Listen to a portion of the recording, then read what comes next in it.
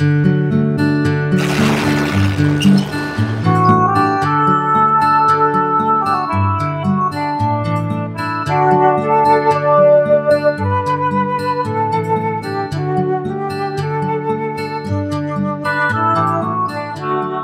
dos nietos que he criado, Ana y Kevin.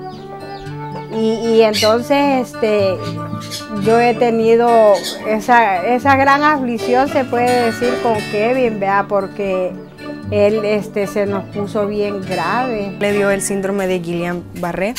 Empezó un día domingo. Este, me desperté con dolor en las rodillas. Fuimos a misa, en misa estuvimos hablando, estuvimos molestando y él me apretaba las manos y me decía que no, que él no sentía la fuerza, ¿verdad? Y sí es cierto, cuando él me apretaba no, no, no hacía mayor fuerza, ¿verdad? Lo mandé a inyectar para, para ver si con inyección él se, se reanimaba. A las 10 de la noche que le digo yo, papito, ¿cómo seguís? Cuando él me dijo, allá bien hondo, mamá, yo no puedo mover las manos, yo no puedo mover nada. Y él quiso pararse y no pudo. Pues como desde ahí, pues desde ese momento nosotros empezamos a, darle vuelta para un lado, para otro y él ya no tuvo quietud. Y hasta que lo llevamos donde los médicos, va y me refirieron para el hospital.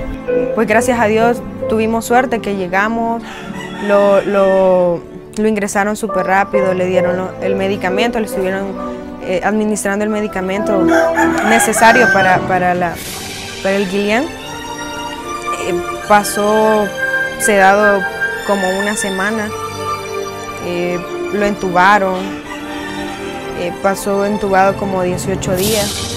Sí, pensé en algún momento que, que, sí podía él dejarnos, ¿verdad? De, que él podía morir. Ah, de solo imaginarlo, no sé, sentía que el mundo se me venía encima, ¿verdad? En el hospital pasé en el Rosales, pasé un mes, un mes 15 días. Me dijo el médico que que fuera terapia, que eso me iba a ayudar y que sí me iba a levantar, que, me iba a recuperar de todo mi, de todo mi, mis músculos, mi cuerpo. Un vecino, amigo de nosotros, nos dijo de que nos iba a ayudar, ¿verdad? Que, que él pudiera entrar a Funter. Lo llevamos a Funter. Igual, o sea, en las terapias yo, yo tenía que estar yendo con él. Mi prima Guadalupe venía, me ayudaba a levantarlo, trasladarlo de la cama a la silla de rueda, ¿verdad? Siempre acompañándolo, apoyando, dándole el apoyo a él para que él se sintiera con ánimos. Y porque a mí me nació, pues porque ese amor que, le tengo yo a él siempre ha estado ahí y no, y no se va a ir, ¿verdad? Llegué a Funter así, súper débil. Este, pasé a, con la licenciada de terapia física y fue complicado porque me chineaban para pasarme a la, a la colchoneta y, no, no podía moverme. Cuando él ingresó venía en silla de ruedas, necesitaba el apoyo de su hermana y de su prima.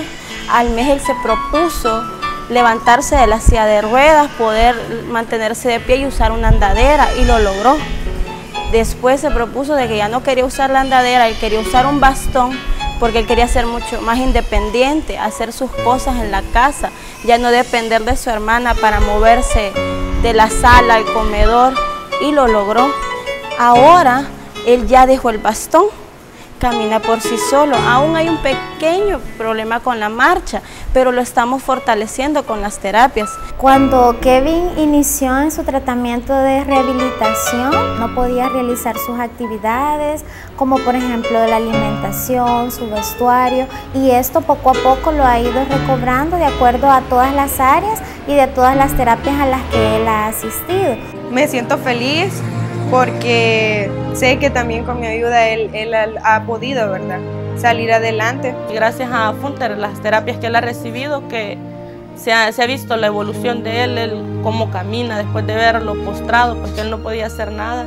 Ya él ahora ya camina y nos alegramos de verlo él ya, ya bastante recuperado. Ya hoy que ya estoy volviendo a, a recuperar mi movilidad y mi fuerza, quiero volver a, estudiar. Quiero volver a mis estudios porque es algo de mucha importancia.